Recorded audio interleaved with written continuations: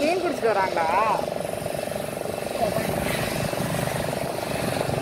ஆமாம் போட்டுக்கு நிறைய மீன் இருக்குது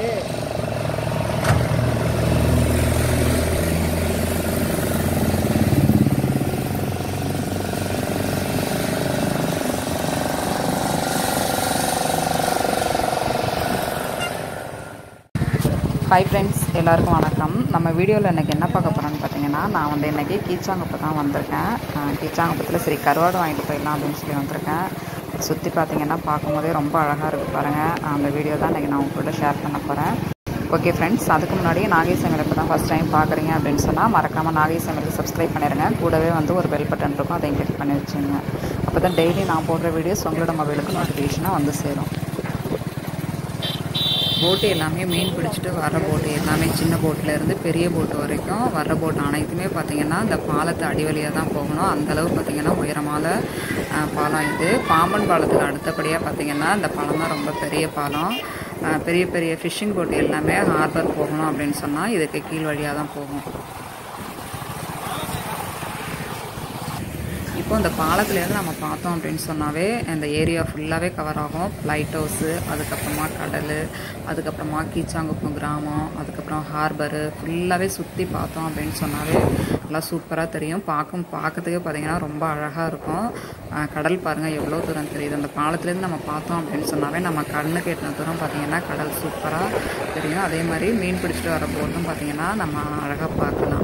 அதே மாதிரி பாருங்கள் மூணு போட்டு வந்துட்டுருக்கு மணி பார்த்தீங்கன்னா இப்போ வந்து ரெண்டரை மணி இருந்தாலும் பார்த்தீங்கன்னா போயிட்டு மீன் பிடிச்சிட்டு வந்துட்டுருக்காங்க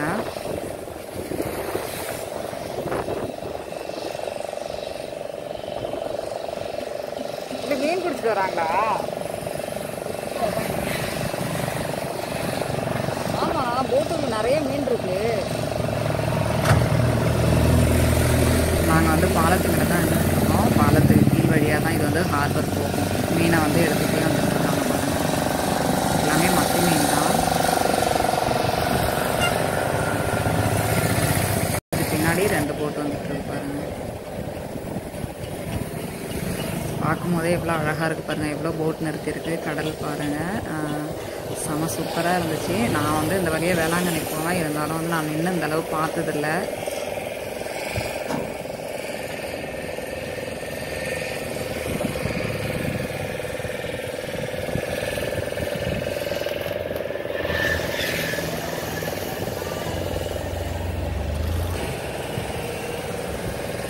இந்த பாலத்துலேருந்து பார்த்தோம் அப்படின்னு சொன்னால் ஃபுல்லாக எல்லாமே தெரியும். லைட் ஹவுஸு அதுக்கப்புறம் ஹார்பரு அப்புறம் கீச்சாங்குப்பம் கிராமம் எல்லாமே தெரியும்.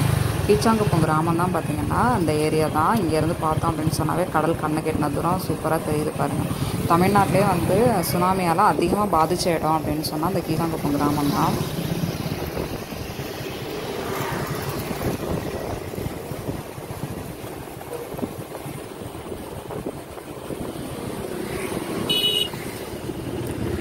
இப்போ இந்த சைடு பார்த்தீங்கன்னா இது வந்து ஹார்பர் நல்லா பெருசாக இருக்குது பாருங்கள் இதுக்கு முன்னாடி லைட் ஹவுஸ் பக்கத்தில் இருந்துச்சு. இப்போ வந்து கீச்சாங்குப்பம் சைடு வந்துருச்சு.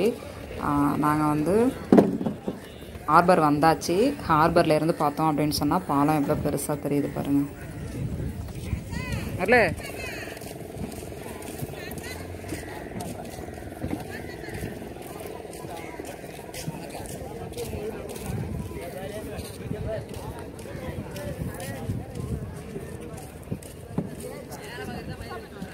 வந்து மீன் வாங்க போகிறாங்க பாருங்கள்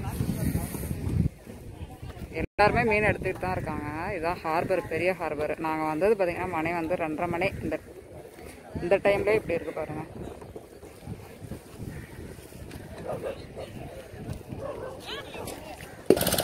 அந்த கூட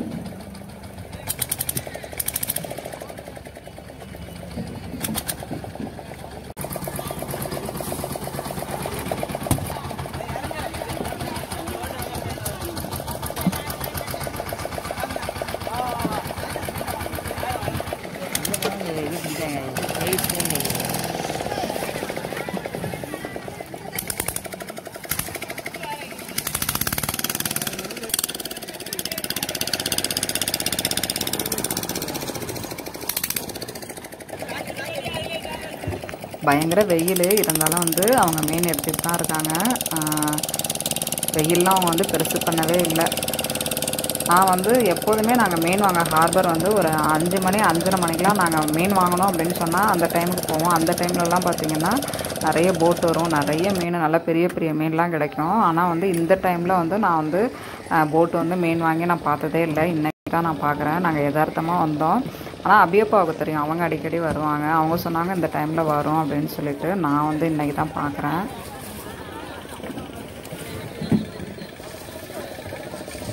அவங்க கூட சொல்லிகிட்டு இருந்தேன். அப்போ மீன் வேணும் அப்படின்னு சொன்னால் ஒரு ரெண்டரை மணிக்கு வந்தால் சரி நம்ம நல்ல மீனாக ஃப்ரெஷ்ஷாக வாங்கிட்டு போயிடலாம் அப்படின்னு சொல்லிட்டு.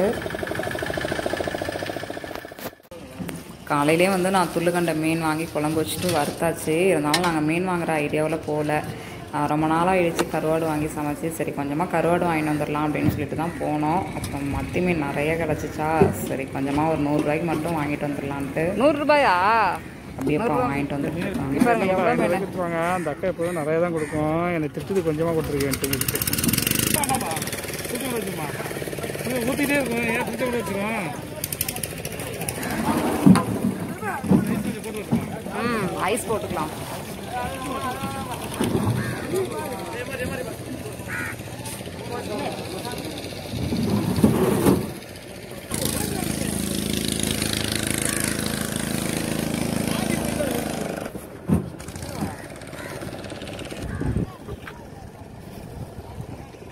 மீன் வந்து கருவாட்டுக்காக காய வச்சுருக்காங்க. வலையில் மாட்டி கொஞ்சம் ஒரு மாதிரி இருக்கும் இல்லையா? அந்த மீன்லாம் வந்து கருவாட்டுக்காக காய வச்சுருக்காங்க. இது வந்து தீவனத்துக்காக காய வச்சுருக்கேன் அப்படின்னு சொல்லி சொன்னாங்க. கோழிக்கெலாம் யூஸ் பண்ணுவாங்க போல இருக்குது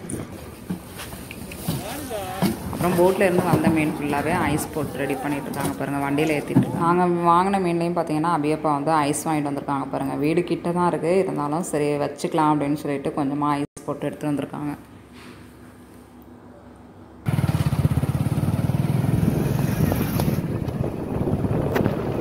நாங்கள் மீன் வாங்கிட்டு வீட்டுக்கு கிளம்பியாச்சு. வர வழியில் பாருங்கள் பெரிய பெரிய போட்டு எல்லாமே வந்து ஓரத்தில் நிறுத்தி வச்சுருந்தாங்க. பெரிய போட்டு எல்லாமே வந்து ஆழ்கடலுக்கு மீன் பிடிக்க போகிறது தான் இப்போ வந்து எல்லா போட்டுமே வந்து மீன் பிடிக்க போகிறதில்ல ஒரு சில போட்டு மட்டும் தான் போயிட்டுருக்கு அப்படின்ற மாதிரி சொன்னாங்க. ஏன்னா இப்போ கொரோனானால வந்து நிறைய போட்லாம் உள்ளே போகிறதே இல்லை அப்படின்னு சொன்னாங்க.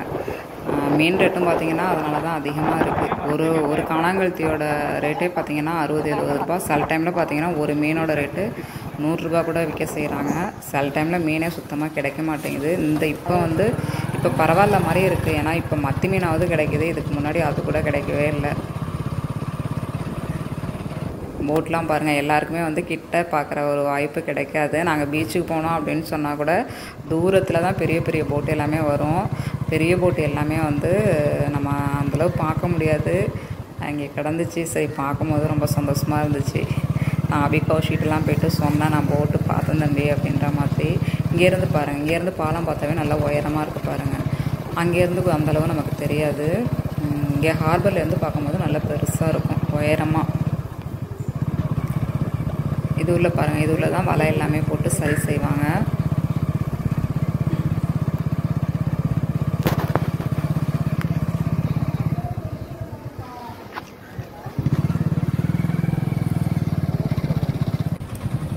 சைடு பார்த்தீங்கன்னா கருவாடு. கருவாடு எல்லாமே காய வச்சு ரெடி பண்ணுவாங்க. நான் ஒரு நாளைக்கு வந்து கருவாடு போயிட்டு வாங்குற இடத்தையும் நான் வந்து கண்டிப்பாக வீடியோ எடுப்பேன். இப்போதைக்கு என்னால் எடுக்க முடியல. ஏன்னா வந்து பயங்கர வெயில் அப்படின்னு சொல்லி சொன்னேன் இல்லையா? அதனால் வந்து வெயிலில் சுத்தமாக நிற்கவே முடியல. அதனால் வந்தாச்சு. இப்போ வந்து நம்ம வந்து பாலத்துக்கு வந்தாச்சு. அந்த பெரிய பாலம் காமிச்சோம் இல்லையா? அந்த பாலத்துக்கு வந்தாச்சு. பாலத்துலேருந்து பார்க்கும்போது ஹார்பர் பாருங்கள் இந்த மாதிரி தான் இருக்குது. இப்போ அந்த பாலத்து கீழ் வழியாக தான் வந்து அந்த போட்டு எல்லாமே போயிட்டுருக்கு.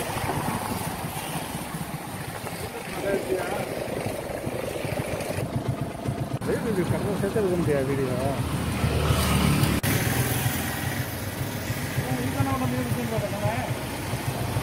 இது எல்லாமே பாலத்துக்கு கீழே தான்.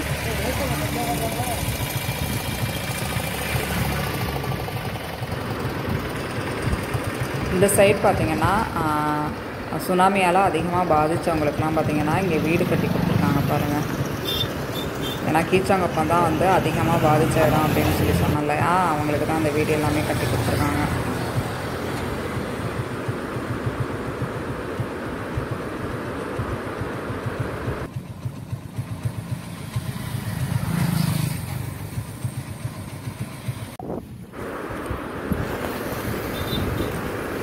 ஒரு போட் வந்துட்டுருக்கு பாருங்கள் சின்ன போட்டும் இல்லை பெரிய போட்டும் இல்லை. நார்மலான போட்டு தான் அது.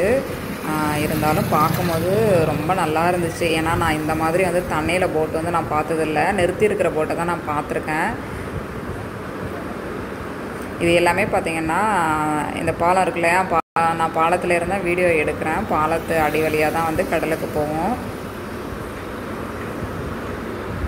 இதுவே எவ்வளோ உயரமாக இருக்குது இதை விட உயரமான போட்லாம் பார்த்திங்கன்னா இந்த பாலத்து அடி வழியாக தான் கடலுக்கு போவோம். இந்த போட்டில் தான் வந்து நாள் கணக்காக இருந்து மீன் பிடிச்சிட்டு வர்றாங்க.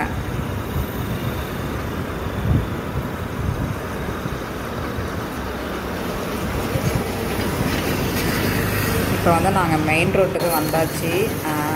மணி வந்து ஒரு மூணு ஆயிடுச்சு நாங்கள் ஒரு ஆஃப் அன் ஹவர் அங்கே இருந்திருப்போம்.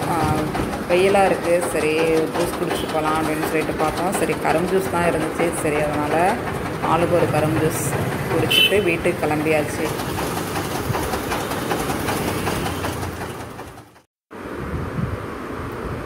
இப்போ வீட்டுக்கு வந்தாச்சு. வீட்டுக்கு வந்தோடனே பார்த்தீங்கன்னா ஒரு ஆஃப் அன் ஹவர் ரெஸ்ட் எடுத்தாச்சு. ரெஸ்ட் எடுத்ததுக்கப்புறமா மீன் எல்லாமே க்ளீன் பண்ணிடலாம்.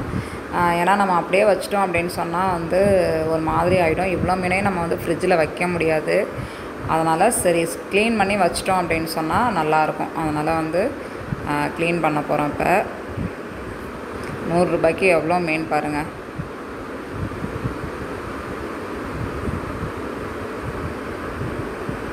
இங்கே வந்து கூடையில் வந்துச்சு அப்படின்னு சொன்னால் ஒரு ஏழு எட்டு மீன் அப்படி தான் இருக்கும். அதுதான் பார்த்தீங்கன்னா நூறுரூபாய்க்கு தருவாங்க. அதே சாமந்தமட்டை போனோம் அப்படின்னு சொன்னால் ஒரு பதினஞ்சு இருபது மீன் அப்படி தருவாங்க. இப்போ பாருங்கள் சுத்தமாக வந்து க்ளீன் பண்ணியாச்சு. இதில் மஞ்சத்தூள் சேர்த்து நல்லா பெசரி வச்சிட்டோம் அப்படின்னு சொன்னால் நாளைக்கு வந்து குழம்பு வச்சுக்கலாம். குழம்பு வச்சதுக்கப்புறமா கொஞ்சம் குழம்பு வச்சுட்டு கொஞ்சம் வந்து வறுத்துக்கலாம். சரி இப்போ கொஞ்சமாக வந்து சரி நம்ம பொரித்து சாப்பிட்றலாம் சும்மாவே நாங்கள் ஸ்நாக்ஸ் மாதிரியே பார்த்திங்கன்னா கொஞ்சமாக மீன் எடுத்து சுத்தம் பண்ணதுக்கப்புறமா பொறிச்சு சாப்பிட்டாச்சு. ஓகே ஃப்ரெண்ட்ஸ் வீடியோ பார்த்துருப்பீங்க. வீடியோ பிடிச்சிருந்துச்சுன்னா மறக்காமல் நாகேஸ்வரனுக்கு சப்ஸ்கிரைப் பண்ணிடுங்க தேங்க்யூ